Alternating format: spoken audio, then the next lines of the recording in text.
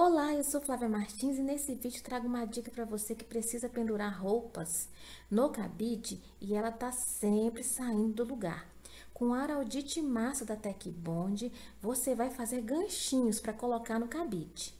Utiliza a cola instantânea para deixar bem firme.